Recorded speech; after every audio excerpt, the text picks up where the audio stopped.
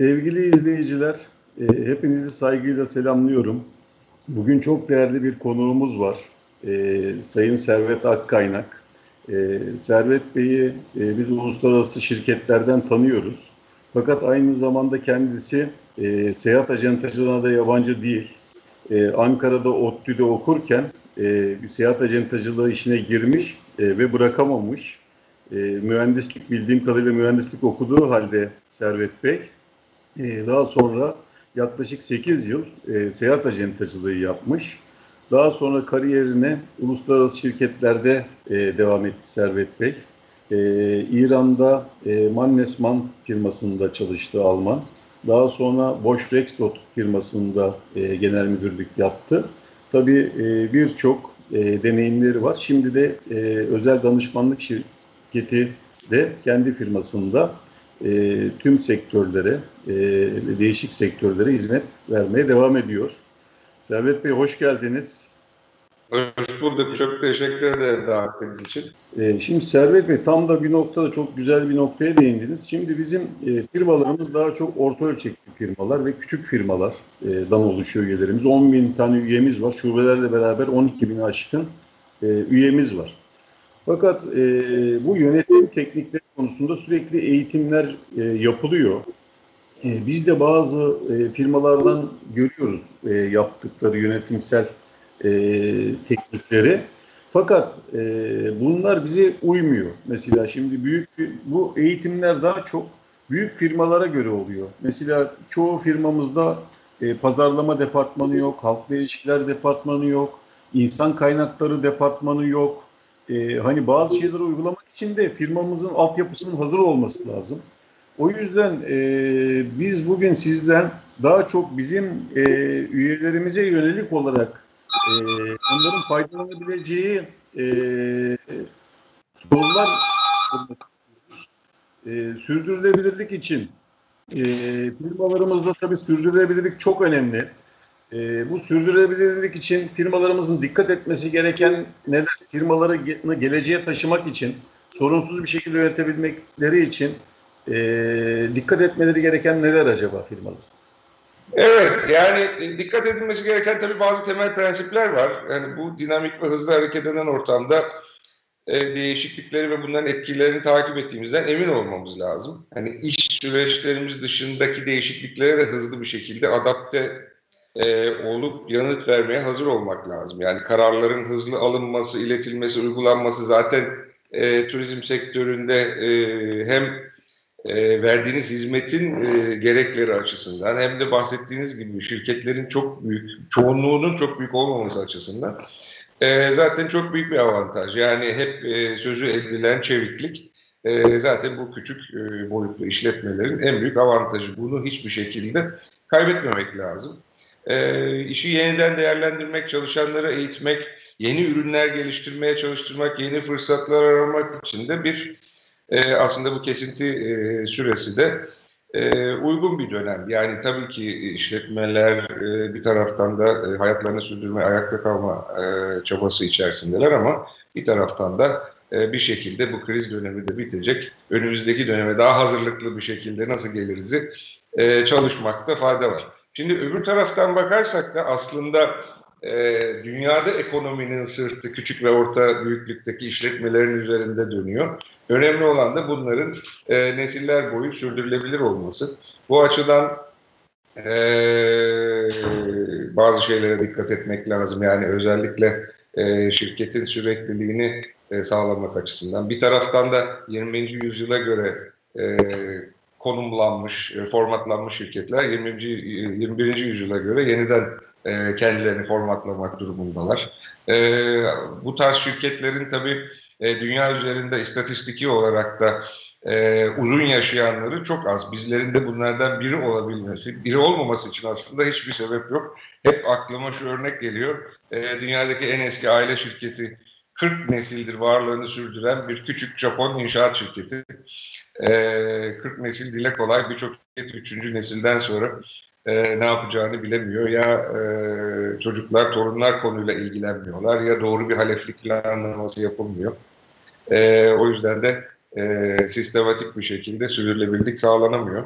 E, şimdi E, turizm sektöründe de e, yine sizin birkaç defa vurguladığınız gibi sektör küçük işletmelerin ve orta büyüklükteki işletmelerin ayakları üzerinde duruyor. O yüzden e, yine değindiğiniz gibi e, aldığınız desteklerde e, danışmanlık hizmetlerinde diyelim, eğitimlerde diyelim, e, tek tip uygulamalardan kaçınmak lazım. Yani e, hani bizim eskilerin tabiriyle her başa aynı tıraşı e, uygulamamak lazım. Yani benim artık çok tıraş ihtiyacım kalmadı. E, evet. ama yine de... Her duyduğumuzu aa bu çok iyiymiş deyip kendimize uygulamaktan önce e, şirketimize uygun mu diye öncelikle bakmamız lazım. Sonra, Tabii evet. yani şirketin e, durum analizini iyi yapmak lazım. Neye ihtiyacımız olduğunu gözlemek lazım. Şimdi e, dediğiniz gibi büyük şirketlere daha önce adapte edilmiş uygulamaların her yerde e, aynı şekilde iş göreceği varsayılıyor ve kopyala yapıştır yöntemiyle e, uygulanmaya çalışıyor. Bu da şirketin mevcut yapısını dahi bozuyor. Birçok yerlerde de buna şahit olduk. Evet, uygulandıkları şirketlerin boyutunda, dinamiklerinde, uluslararası arenada belki işe yaramış olabilir. Ama e, her şirketin ihtiyacı, boyutu, finansal yapısı, e, ortaklık yapısı, e, dinamikleri, bulunduğu pazar, sizin turizm sektörünün içerisinde bile çok ayrı iş kolları var. E, herkes aynı işi yapmıyor. E, evet. Yani e, hizmet üreten var, hizmet satan var, aracılık yapan var, e, işte bilet konusu var. Aslında e, şu anda burada sayamayacağımız yüzlerce farklı konumuz var. E, bu da işin e, e, ve bunlarla ilgili ihtisaslaşmış e, şirketleriniz var. Hepsinden bir miktar yapan şirketleriniz var. E, çok az elemanla yapan, taşeronla yapan veya kendi bünyesinde yapmaya çalışan şirketler var. O yüzden hani her aynı şapkayı herkese giydirmek yerine e, şirketin ihtiyacını belirleyip ona göre devam etmek lazım. Kurumsallaşma bugünlerde böyle herkesin kafasında bir e, moda konsept haline geldi. E, evet. İşte o kopyala, kopyala yapıştır uygulamaları maalesef çoğalttı. E, şimdi şirketler bazen belli dediğiniz başkasının yaptığını hemen kendi şirketinde uygulamak değil evet, mi? Yani standart süreçleri, standart süreçleri ya kendileri ya da e, destek aldıkları e, ekipler gelip e, başka yerde olduğu gibi uygulama yoluna gidiyorlar.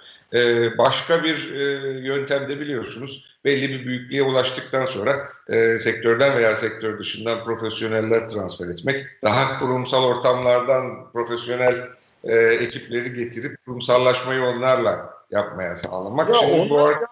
işte onlarda da o sorun oluyor Servet Bey. Mesela bir şirketimize başka şirketten bir profesyonel getirdiğimizde bizden daha iyi gördüğümüz bir şirketten e, o arkadaşların da bir uyuşmazlığı oluyor. Onlar o eski bildiklerinin aynısını bizde yapmaya çalışıyorlar.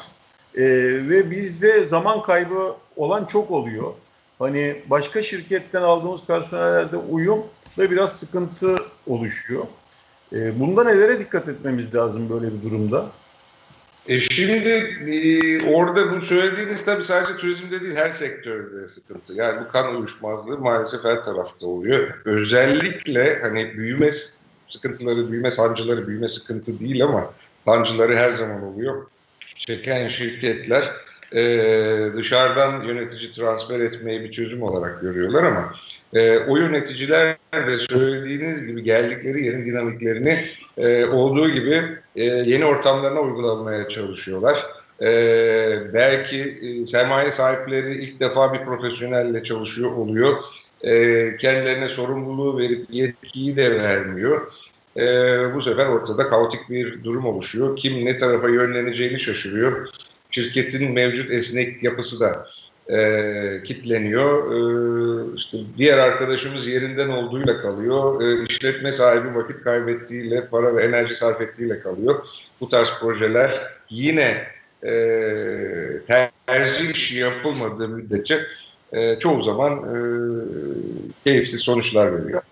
Şöyle bir şey yapmak doğru olur mu? Mesela biz bir profesyoneli ya da başka bir şirketten bir personel aldığımızda e, daha büyük bir şirketten geldiyse bize ona şunu demek lazım belki. Bak ben senin eski şirketin değilim. E, bizim özelliklerimiz başka. Konuşalım. tartışalım. Ama e, önce biz bunu uygulayabilir miyiz? Bu karar bizim şirketimize uygun mu?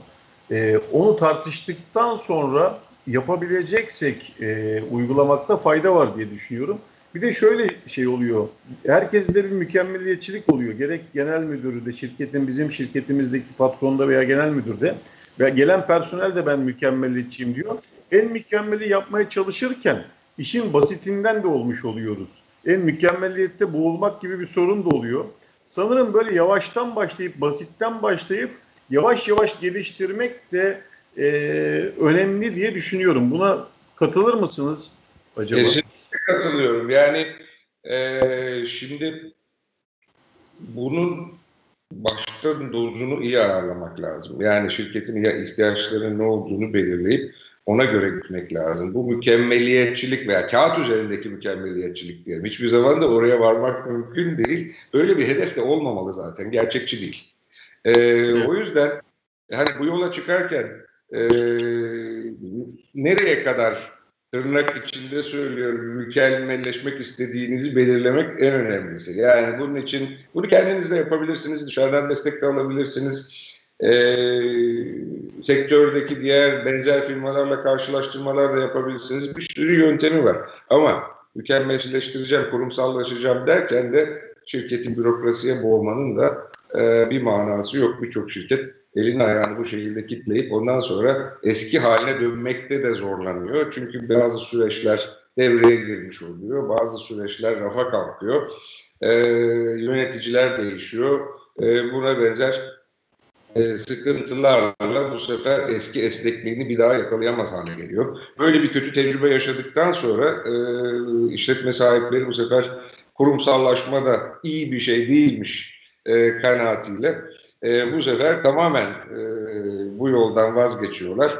E, bu da şirketin geleceğini tehlikeye atıyor. O yüzden buradaki e, en önemli, en kritik e, konu dozunun iyi ayarlanması. Evet. evet. Kaç bir önemli noktaya dikkat edilmesi yani. Evet. Peki Servet Bey, ben şimdi orta ölçekli bir firmanın sahibiyim. Evet. E, veya küçük bir firmanın, daha küçük bir firmanın sahibi olarak düşündüğümüzde e, ben somut olarak e, mali işlerde, pazarlamada, e, bu işte personel yönetiminde, satışta, somut olarak benim günlük hayatta kullanabileceğim e, faaliyetlerimde neler yapmam gerekiyor? E, böyle somut bir bilgiler alabilir miyiz daha çok? Direkt uygulamaya yönelik üyelerimizin kullanabileceği işte İK'da şunu yapın, e, mali işlerde şunu yapın, pazarlamada şunu yapın gibi tavsiyeleriniz olur mu acaba? Şimdi e, mali işlerden başlayalım isterseniz. Böyle bir birkaç e, temel prensip üzerinde konuşalım. Birincisi mali işler diyelim. Çünkü her şeyin başı para. E, onu doğru yönetmediğiniz zaman hiçbir faaliyet de doğru yürümüyor parasız maalesef hiçbir ticari faaliyet dönmüyor. Şimdi herkes elbette hesaplarını e, özellikle belli büyüklükteki şirketler e, dışarıdan bir e, mali müşavirlik şirketine tutturuyorlar. Gayet doğal, normali de bu. Ancak kendi içlerindeki ön muhasebe sisteminin de basit, anlaşılır olması lazım ve e, pratik bir iç denetim sistemi kurmaları lazım. Yani bu e, büyümekte olan şirketler çok önemli e, iç denetim konusu. E, çünkü hani şirketler, küçük ve orta ölçekli şirketlerde şirket sahipleri, şirketin varlıklarını da koruma güdüsüyle hani bir takım formal olmayan, formal tarafını mali müşavirler yapıyor ama diğer tarafını kendileri yapıyorlar haklı olarak. Yani herkes parasına sahip çıkmak istiyor ama e, şimdi bu daha çok şirketin anlık finansal durumu, kasa ve bankadaki paralar, eğer varsa stok yönetimi veya işte bilet satan bir yerseniz e, o taraflı olan ilişkiler üzerine odaklanıyor. Yani e, diğer mali bilgiler, operasyonel süreç, e, işte diğer mevzuata uyma riskleri, kontroller bunlar önem sırasında çok geride kalıyor. İşletme sahibi sadece paranın e, ve kasanın o anlık kontrolüne odaklandığı için. E şimdi e, şirket büyümekteyken de hem şirket ortakları hem de ilgili aile üyeleri böyle işlem seviyesinde, günlük işlem seviyesinde kontrolü e, elinde tutmak istiyorlar ama e, bu da organizasyonda kişiye bağımlılığı arttırıyor. Yani biz eğer şirketi e, 20 senelikse şirketimiz bir 20 sene daha sürdürmek istiyorsak organizasyonda kişiye bağımlılığı gideremeyiz küçük şirketlerde ama minimize edebiliriz. Yani belli oranda e, asgariye düzeye indirebiliriz. Yani bu da e, çok kritik bir başlık e, kişilerdeki yetki ve sorumluluk devri. Hani insan kaynaklarını sordunuz, oradan da bahsederken buraya da geleceğim. E, şimdi bu e, tarz kişisel e, mali kontroller tabii yazılı olmadığı için, yazılı süreçlere bağlı olmadığı için bir bütçesellik içinde tutarlı olarak yapılmıyor küçük şirketlerde. Ben bunu basit bir şekilde bu süreçleri e, kaleme alıp çerçevesini çizip o doğrultuda yapılmasını öneririm. Mali iç kontrol, iç denetim süreçlerini. Yani şirket 4 kişilik de olabilir, 44 kişilik de olabilir. Ee, ne kadar küçükseniz o kadar basit tutarsınız. Ama belli bir düzene bağlı olmasında özellikle parasal konuların e, çok çok önemli. Yani e, çünkü e, şirketin e, operasyonu genişledikçe, büyüdükçe bu sefer kontrolden çıkıyor ve karmaşıklaşan organizasyonda hata oranı yükseliyor, suistimal oranı yükseliyor. Gözünüzden kaçan çok şey oluyor. Belli bir orana kadar kabul edilebilir tarafı var bunun ama ama iş çığırından çıktığı zaman da şirketin yapısına zarar vermeye başlıyor. Güvenilirlik e, ortadan kalkıyor. Bu sefer e, hani zaten e, haklı olarak bütün parasal kontrolü elinde tutan sermaye sahipleri daha fazla e, parasal tarafa odaklanıp operasyonel taraftan uzaklaşmaya başlıyorlar. Bu tür riskleri var. O yüzden hani bu varlıkları koruma odağında e, sağlıklı bir kontrol sistemi ve denetim lazım.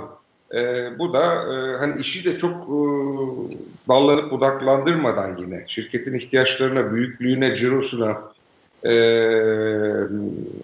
göre çok basit bir şekilde formatlanarak bir iç denetim e, sistematiği oluşturabilir. Bu hani bu varlığı koruma güdüsündeki işletme sahiplerinin elinden de çok ciddi bir yük alacaktır. Yani bir ek bürokrasi, e, dozunda yaparsanız çok rahatsız etmeyecek şekilde getirecektir belki ama büyüme sancıları içerisinde bayağı bir hafifletici ortam oluşturacaktır. Yani aynı şeyi hukuki taraf için de söyleyebilirim. Şimdi e, küçük şirketlerde e, ben de yaşadım e, bu durumları. Hukuki tarafta da ihtiyacımız oldukça e, hukukçulardan görüş alıyoruz. Hani onun yerine e, daha mütevazi e, ücretlerle sürekli bir e, hukuk müşaviri bulundurmakta şirketi tavsiye ederim. Özellikle bizdeki e, sık mevzuat ve kanun değişikliklerinin takibi açısından e, o tarafa ayıracağınız bütçe bazen bir değişiklikte yakalayacağınız bir detayda e,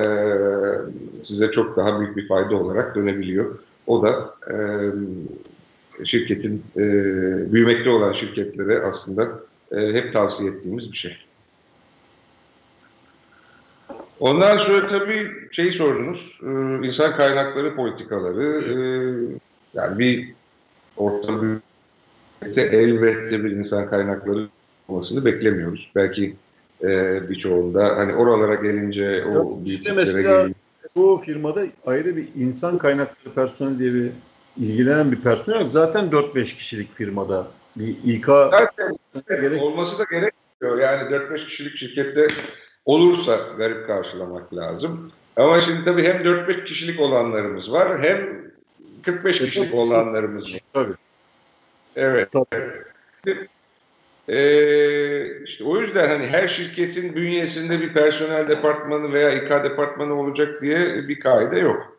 Ee, yani birkaç kişilik şirketlerde bu fonksiyon kurucular tarafından rahatlıkla sürdürülebilir. Ee, zaten özlük işlerini çoğu zaman yapan birimler oluyor. Hatta işte dışarıdan e, işlerinizi takip eden mali müşavirler özlük işlerini takip ediyorlar. O tarafta bir sıkıntımız zaten olmuyor. Şu anda her şey dijital ortamda da yapıldığı için e, ben kimsenin o tarafta bir sıkıntısı olduğunu zannetmiyorum. Ama insan kaynağı dediğimiz zaman biraz tabii özlük işlerinden ayırıyoruz. Yani bu işte 20 yıl önce yaklaşık büyük e, şirketlerin başlattığı bir furya. Hani personel müdürleri e, oralardan örnek verecek olursak insan kaynakları müdürlerine evrildi öyle diyelim. Yani insan elimizdeki en önemli kaynaktır. Bu da sadece özlük işlerinden ibaret değildir.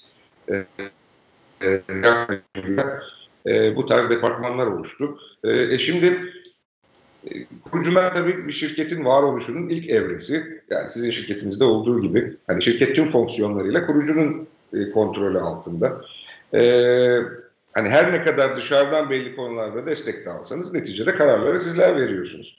O yüzden de şirket yönetimi sadeleşiyor, kolaylaşıyor. Ama bir yerde de bir haleflik, büyüme sürecinde de bir haleflik ve yetki planlaması e, yapmak gerekiyor. Yani 4-5 kişiyken böyle bir ihtiyacınız olmayabilir.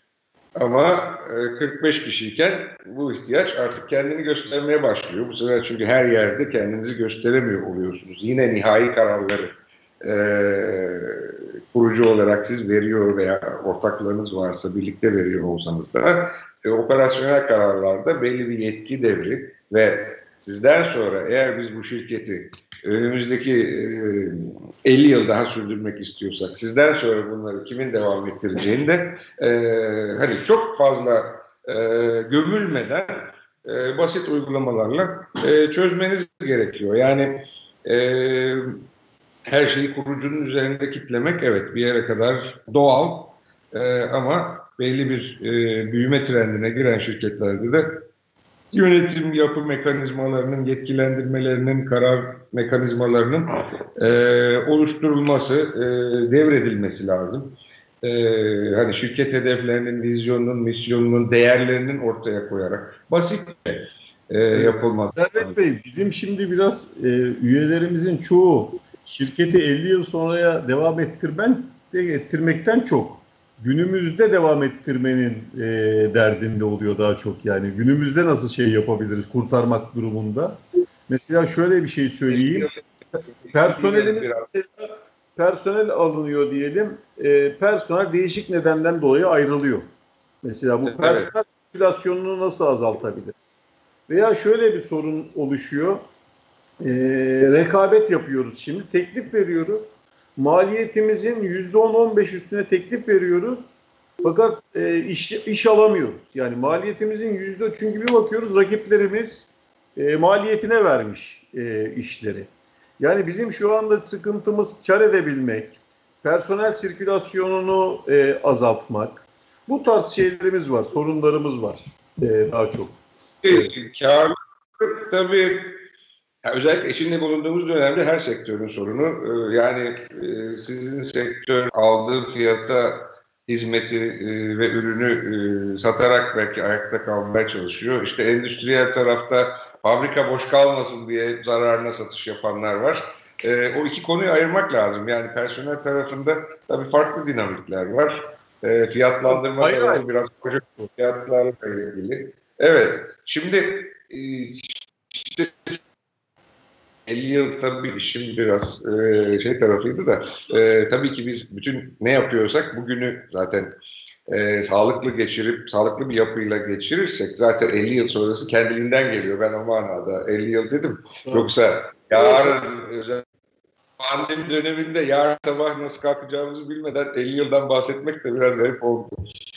Şimdi e, kaç kişi olursa olsun çalışan sayınız aslında hani görevin gerektirdiği eğitim, beceri, tecrübe gibi kriterler açıkça belirtilmeli diye düşünüyorum. Yani e, biz bazen e, seçerken işe yanlış başlıyoruz. Ee, ve ondan sonra kaybettiğimiz zaman da niye kaybettik diye düşünüyoruz. Belki e, karşıdaki kötü bir insan, kötü bir çalışan olmayabilir ama bizim aradığımızı olup olmadığını iyi belirleyemezsek e, ve daha önce yöneticiler için söylediğimiz kan uyuşmazlığı oluşursa e, sıkıntılar başlıyor. Yani o, bunun üzerine biz eğitimi, beceriyi, tecrübeyi, bu kriterleri doğru belirlersek hani ücretlendirme, ödüllendirme, yetki, sorumluluk, performansa bağlı e, kriterler, e, bunlar da yerine daha doğru oturur. Ve ücret politikası şu anda e, özellikle birkaç kişilik şirketlerde e, hani yine tırnak içinde söylüyorum biraz keyfi yapılıyor diye izliyorum.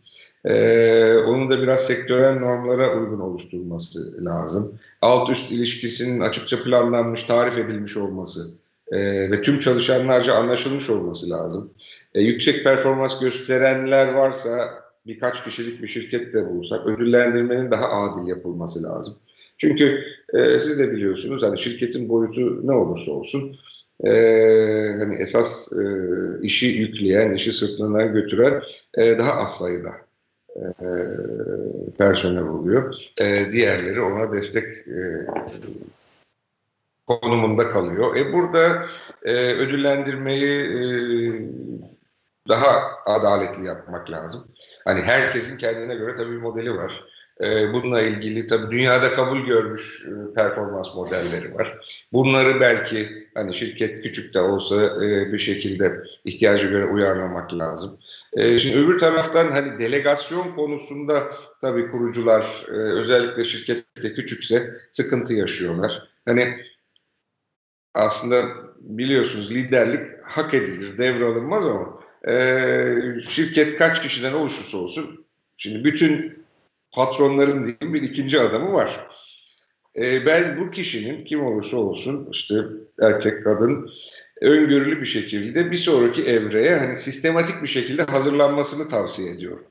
Yani e, bu delegasyonu kimse tabii kendi e, doğurduğu, büyüttüğü bebeği kolay kolay kimseye emanet edemiyor. E, bu üç kişilik e, şirkette de böyle. İnanın 3000 kişilik şirkette de böyle.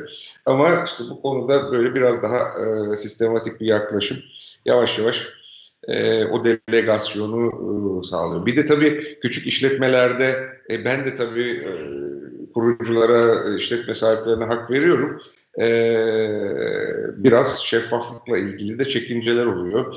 E, bir taraftan işte personelin sık sık iş değiştirebilecek olması ve bilgilerin rakiplere piyasaya akması korkusu. Bir taraftan hani ne kadar para kazanılıp kazanılmadığının e, ortalarda gezmemesi gerektiği ki haklıdır e, işletme sahipleri bu konuda.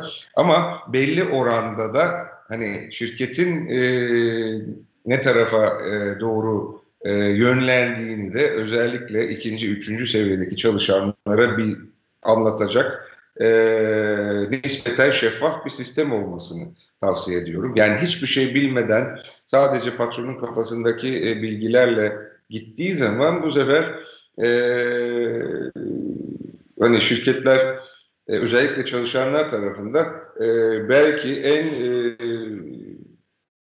finansal açıdan sıkıntılı dönemde bile bazen şirketin çok para kazandığını düşünüp e, bu kadar para kazanılıyor bizle niye paylaşılmıyor gibi e, bir yanılgıya bile kapılabiliyorlar. E, kazanıldığı zaman da e, nispeten bilgilerin paylaşılması ama kaybedildiği zaman da paylaşılması lazım. Neticede başarı da ortak, e, başarısızlık da. E, ortada bir kriz varsa e, şu anda hep beraber, bütün dünyayla birlikte çekiyoruz bunu. Tabii ki bu ekstrem bir şey olduğu zaman evet herkes farkında ama bazen ülke spesifik, bazen şirket spesifik, bazen sektör spesifik konular oluyor. E bunların şirketimize yansıması, e, küçük şirketlerde çok daha fazla hissediliyor bu.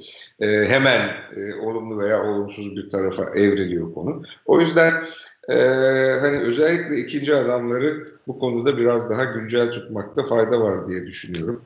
E, imkanlara el verdikçe çalışanlara yönelik eğitim planlaması yapmak gerektiğini düşünüyorum.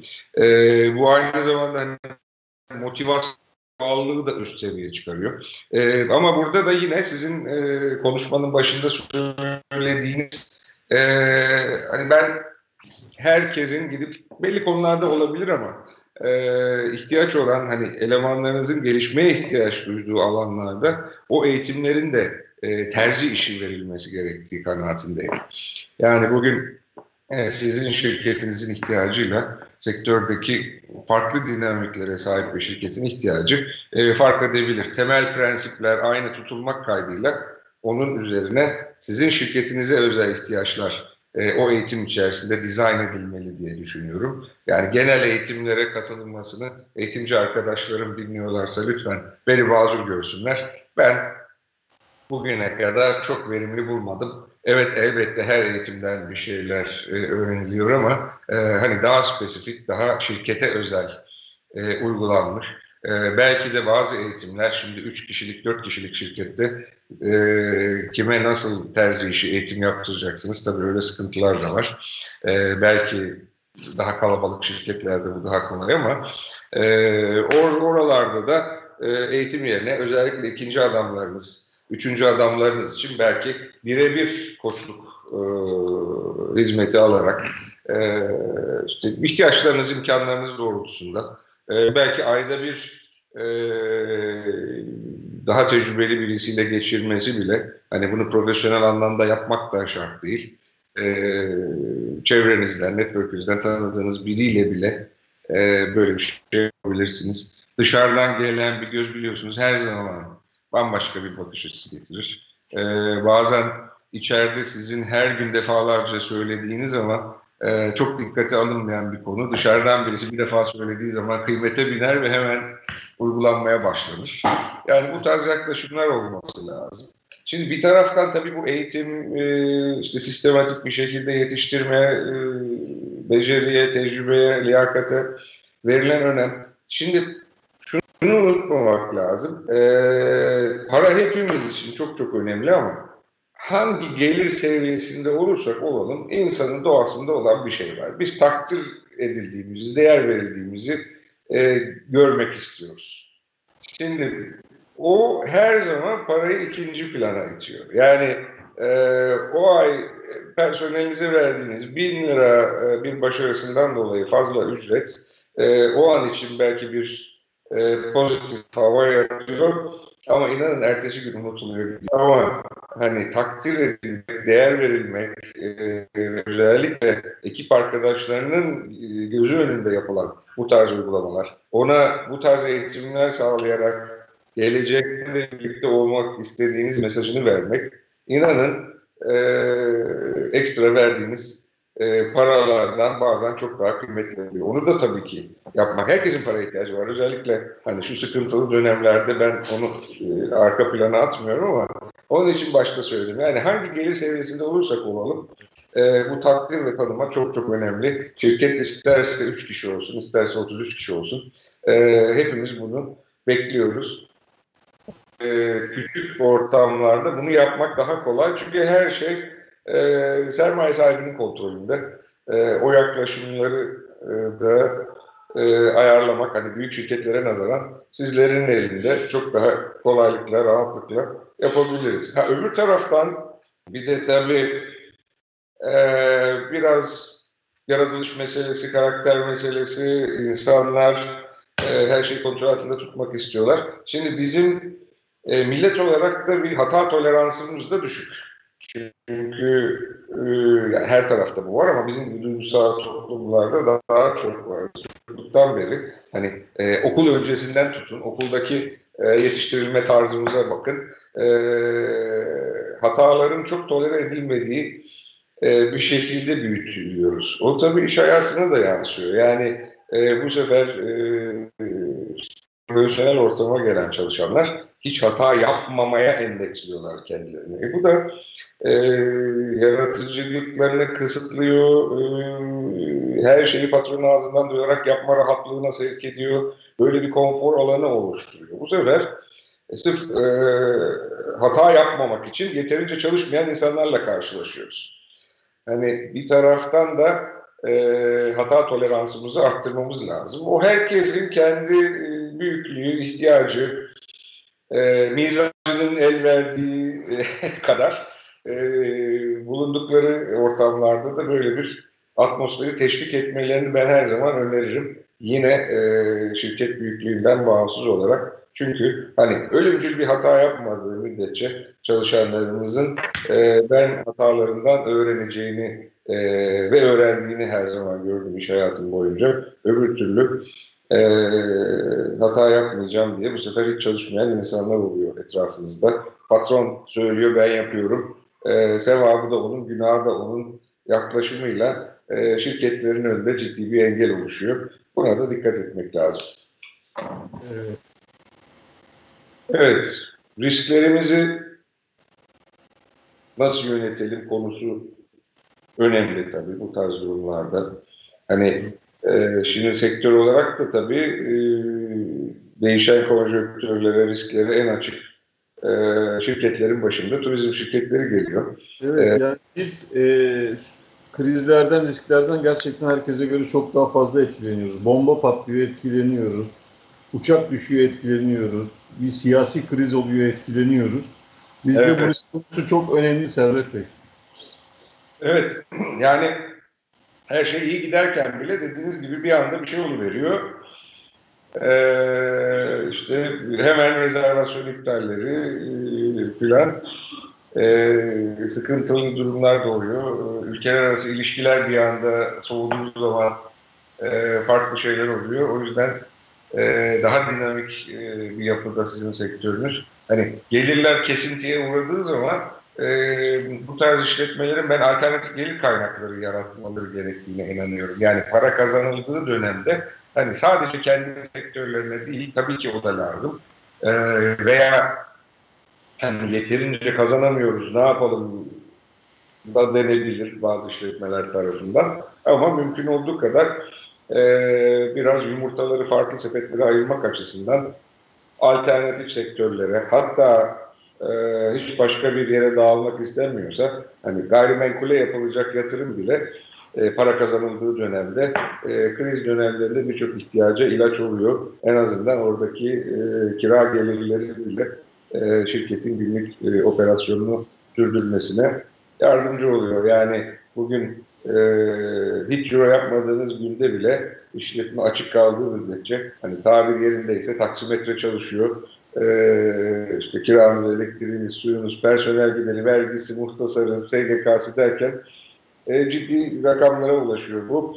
Dışarıdan görünmeyen e, giderler hani bu tarz zamanlarda ek bir alternatif gelir işlerin iyi gittiği dönemde yaratmışsanız e, birçok şeyimize e, ilaç olup birçok yamayı kapatabilecek duruma geliyor. E tabi herkesin finansal altyapısı, nakit akışı, e, karlılık oranları farklı. Yani bu e, hakime nasıl uygulanabilir? Şirketin kendi dinamiklerine göre, e, kendi finansal altyapısına göre bakmak gerekir ama kabaca söylemek gerekirse e, bunu tavsiye ediyorum. Sonra tabii hem risklerle bağlantılı hem de şirketin sürdürülebilirliğiyle alakalı. Yani dördüncü olarak şeyi söyleyeyim. Yani şirketin büyüklüğü fark etmez. Yani insan tek başına bile çalışıyor olsa e, basit bir e, hani kısa, orta ve uzun vadeli bir stratejik planı olmalı ve buna e, yönelik bir yol haritası oluşturmalı. Yani şundan bahsetmiyorum. Diğer büyük şirketlerin yaptığı gibi oturun ee, işte günler süren, e, geceler süren strateji çalıştayları yapılsın, e, beyin fırtınaları düzenlensin, e, sayfalarca raporlar çıkarılsın e, filan. Yani öyle bir şeye ihtiyacımız zaten yok o, sizin bahsettiğiniz büyüklükteki şirketlerde. Ama hani bir sayfalık bir doküman bile olsa e, insanların e, vizyonunu, misyonunu, hani e, SWOT analizini, e, fırsatlar, tehditler, e, zayıf ve güçlü yönleri e, ve önümüzdeki e, kısa, orta ve uzun dönemdeki e, stratejisini ve buna bağlı bir yol haritasını dediğim gibi yani bir iki sayfalık bir hadiseyle birkaç saatlik toplantılarla bile çıkar bu. Değişen şartlara göre de revize edilerek takip edilecek bir rehber niteliğinde olur bu tarz çalışmalar. Yani e, böyle oturup bir doktora tezi yazmaya gerek yok bununla ilgili. Dediğim gibi yani çok basit. E, hiç işi abartmadan e, o çok büyük e, çalıştaylara, seminerlere, eğitimlere falan girmeden kaba bir e, çalışmayla bir yol haritası çıkarmak ve ona yönelik e, e, faaliyetlerinizi sürdürmek, takip etmek, devam ettirmek ve değişen dış şartlara veya iç şartlara göre de çabuk revize edebileceğiniz basit bir formatta yapmak inanın işinizi e, çok rahatlatır. Bir tarafta tabii e, çok vaktimiz kalmadı isterseniz biraz hızlanıyorum. Var Ee, 20 dakikamız daha var. Peki. Evet. Yani bu konulardan sonra bir de bu geleceğe yönelik stratejiler, e, 20 dakikamız var. E, son bir 5 dakikada ben de bir toparlamak isterim. E, hani bir de en son sizden şeyi almak isteriz. Şirketi, bu yeni trendler, şirketimizi geleceğe, e, az önce tabii bu günümüzü kurtardıktan sonra geleceğe yönelik ne gibi hazırlıklar yapalım? E, işte dijitalleşme çok ön planda e, günümüzde. İşte artık so reklamlar sosyal medyaya kaydı.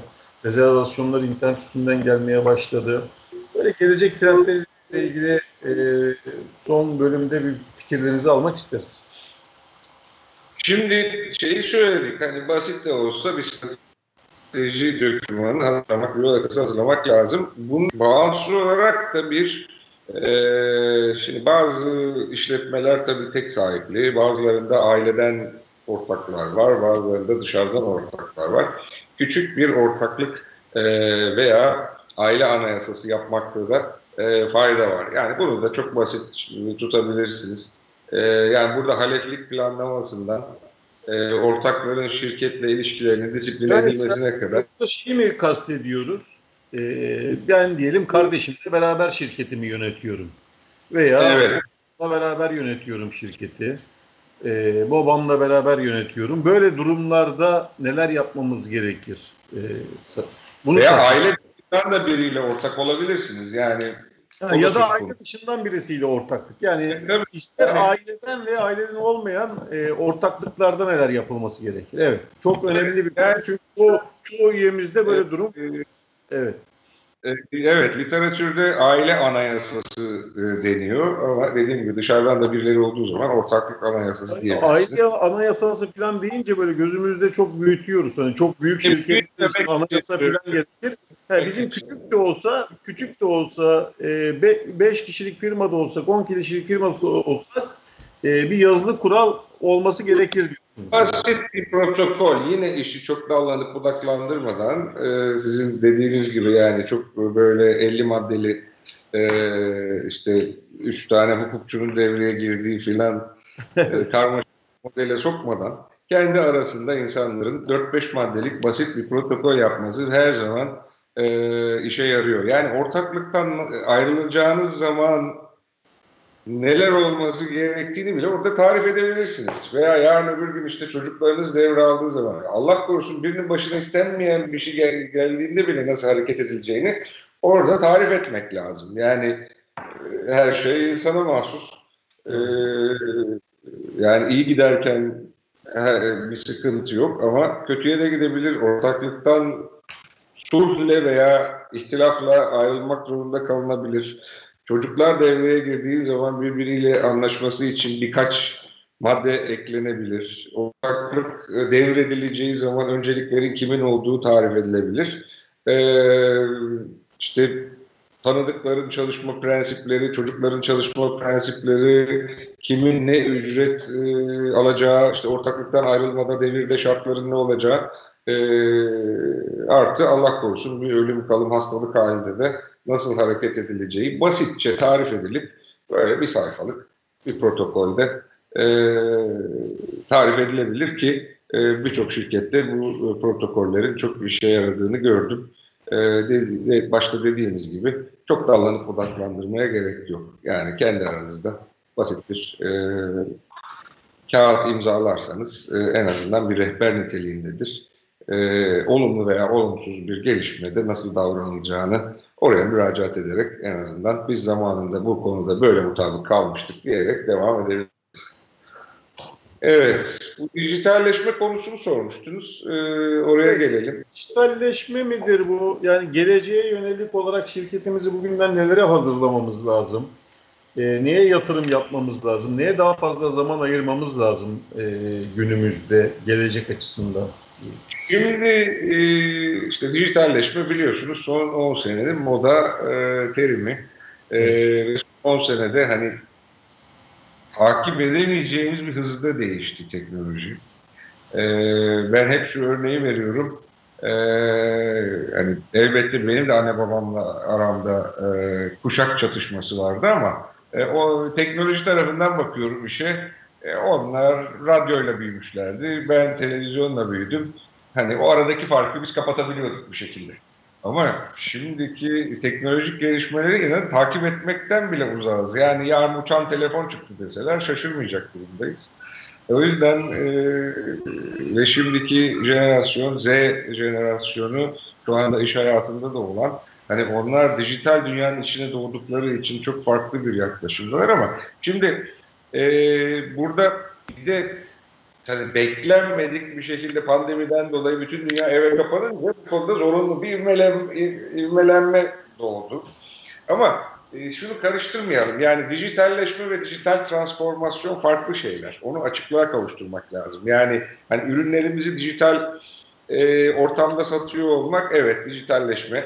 Hani teknolojiyi mevcut işletmenizde kullanıyorsanız e, dijitalleşmiş oluyorsunuz. E, bizler de e, yani bireyler olarak da şu cep telefonlarımızla birlikte dijitaliz zaten. Yani dünyanın her yerine e, gerek e, internet üzerinden gerek e, farklı haberleşme kanallarıyla ulaşmamız mümkün. Yani dijital dönüşüm işleri yeni dijital yollarla yapmak demek. Yani dijitalleşmeden farkı o. Yani dijitale dönüştürme e, kavramından daha kapsamlı. Bu e, dijitalleşme, dijital dönüşümün bir parçası. Hani dönüşüm bir işletme tüm açılardan ele alıyor. Sadece ben ürün ve hizmetlerimi internetten de satıyorum. Evet dijitalleştiniz. Ama dijital dönüşüm manasında işletmenizi ele almadınız. Yine burada lütfen hani şirketlerde büyük küçük ayrımı yapmayalım. Yani 3 kişiyseniz de 13 kişiyseniz de bu söylediğim geçerli. Çünkü zaten bizler birey olarak bu işin içindeyiz. O yüzden hani müşteriyi anlamak adına, temas noktalarını keşfetmek adına, büyüme stratejilerini belirlemek adına e, işletmenin mobil uygulamaları, dijitale dönüştürme işlemleri, çalışanlara tanınan olanlıklar, performans modelleri, yeni iş modellerine gitme. Yani sayılabilecek çok şey var. Sırf bunun üzerine birkaç saat konuşulabilir. E, bu e, işletmeyi bütünüyle e, dijital transformasyona sokmanız demek. Bu hem yeni pazarlar hem yeni müşteriler ve işi bir kastımız da yazılım yapmak mı mesela? Yazılım yaparak önce işimizin gerektiği bunu yazılıma ağırlık vermek diye algılayabilir miyiz acaba? Böyle işletmenin bütününde dijitalleşmek sadece ürün ve hizmet satımını e, satarken değil.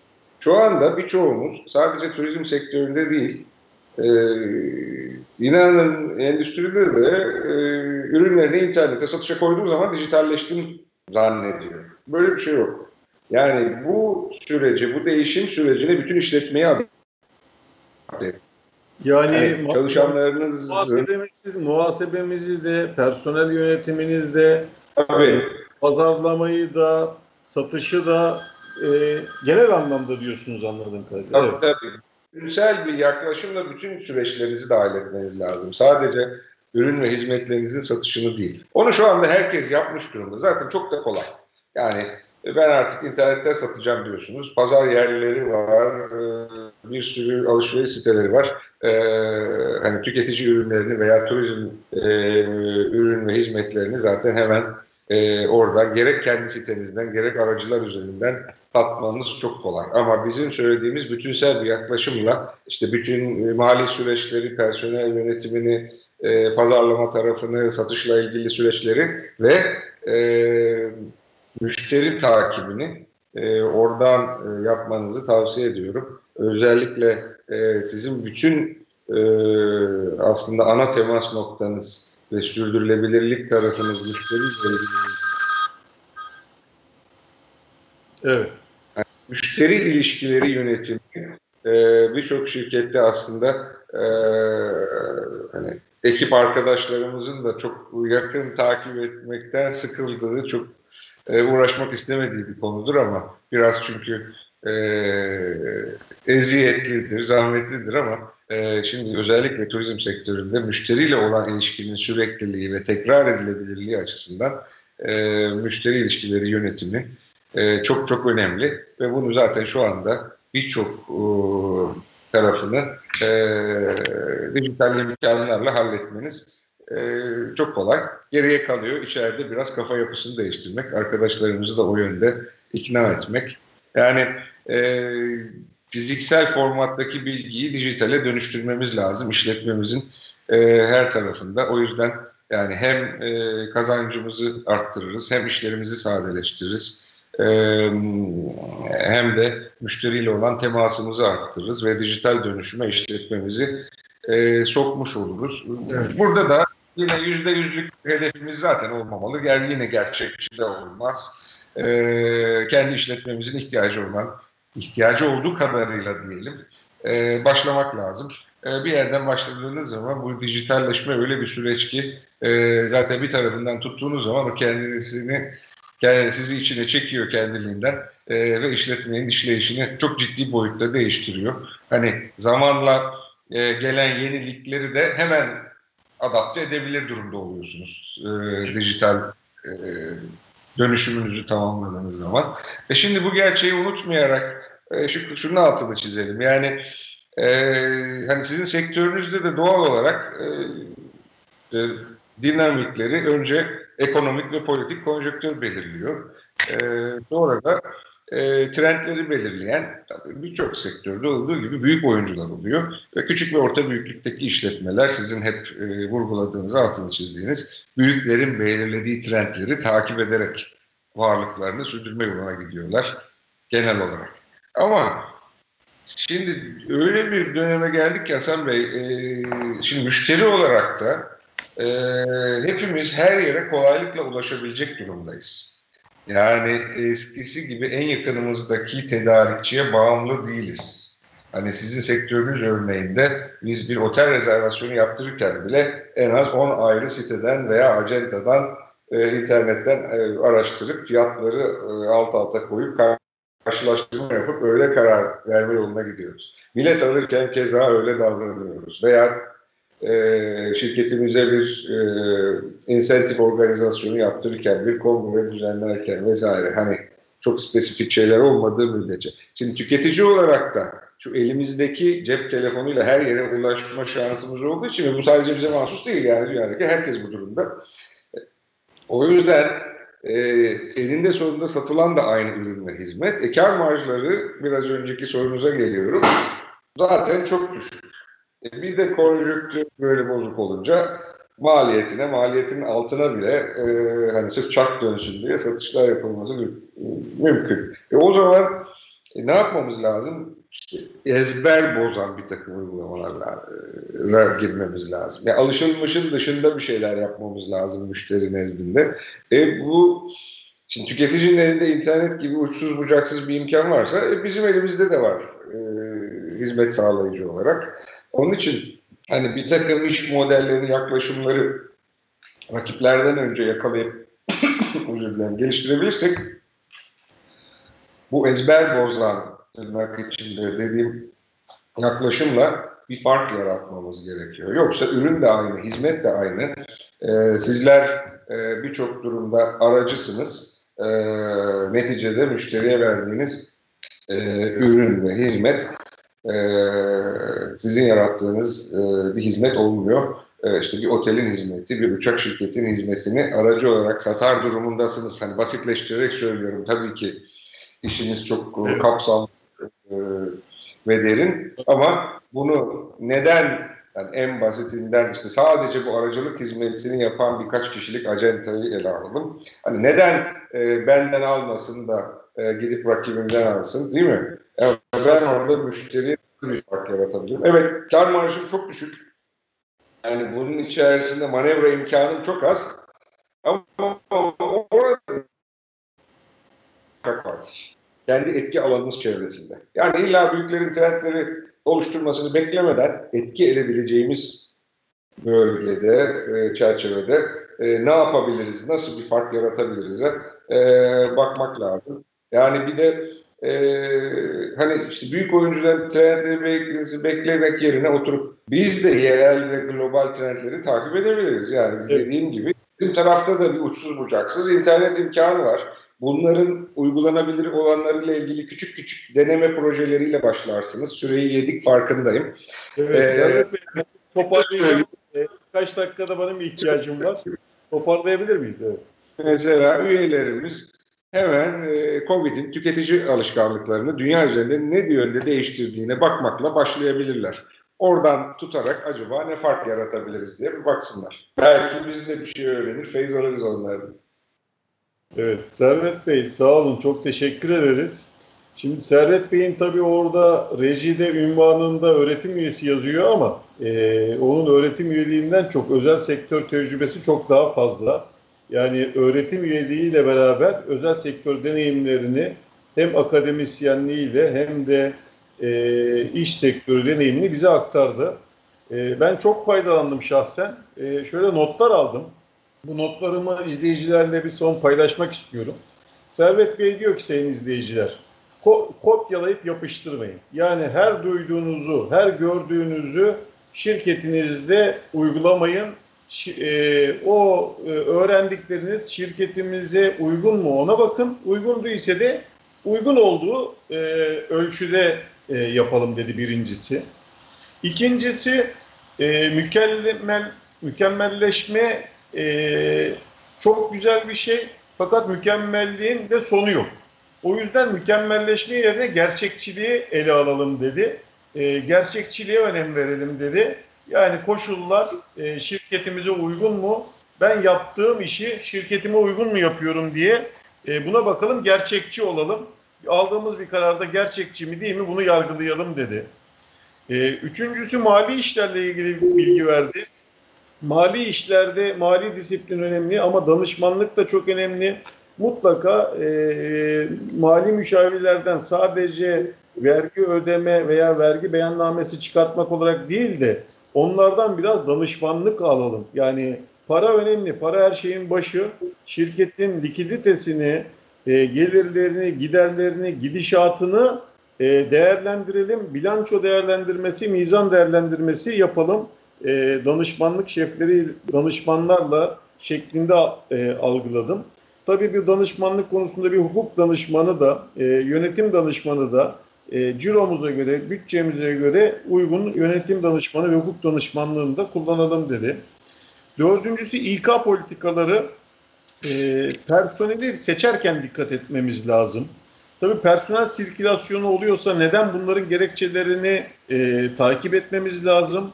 E, tabii personelin devamlılığı için onların haklarını da dört dörtlük e, vermekte fayda var. E, işlerimizi delege edin dedi, güvenin dedi.